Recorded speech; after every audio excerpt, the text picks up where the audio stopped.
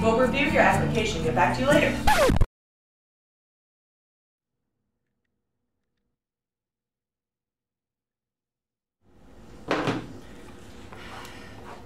Think before you post. Your future self will thank you.